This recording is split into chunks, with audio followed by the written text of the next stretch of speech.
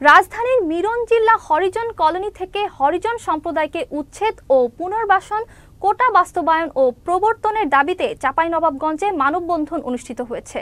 বুধবার চাঁপাইনবাবগঞ্জ জেলা প্রশাসকের কার্যালয়ের সামনে বাংলাদেশ হরিজন ঐক্য পরিষদ চাঁপাইনবাবগঞ্জ জেলা শাখার আয়োজনে এই মানববন্ধন অনুষ্ঠিত হয়। এ সময় বক্তারা বলেন, ব্রিটিশ আমলে ঢাকার মিরন জিল্লা হরিজন কলোনির উচ্ছেদের উদ্যোগ নিয়েছে ঢাকা দক্ষিণ সিটি কর্পোরেশন। হরিজন সম্প্রদায়ের পুনর্বাসন এবং তাদের জন্য বিভিন্ন সরকারি আধা সরকারি দপ্তরে নিয়োগের যে কোটা রয়েছে তা বাস্তবায়নের দাবি জানান তারা। দাবি আদায় না হলে কঠোর আন্দোলনের হুঁশিয়ারি দেন হরিজন ও নাগরিক কমিটির প্রতিনিধিরা।